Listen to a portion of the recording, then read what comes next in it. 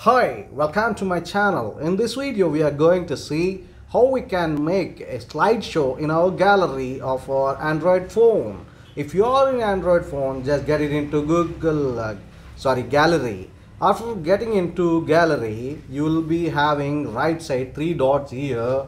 Just click on that one. It will prompt you for the slideshow here.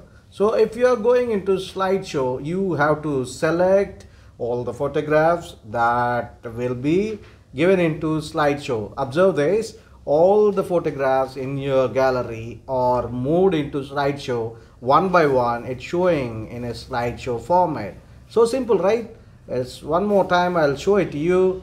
Just open your gallery on your Android phone. After opening, just click on the three dots here and get into slideshow will enable simply the slideshow on your uh, android mobile. Thank you so much for watching this video. See you in the next video. Till then bye bye kindly subscribe the channel like it and share the video. Thank you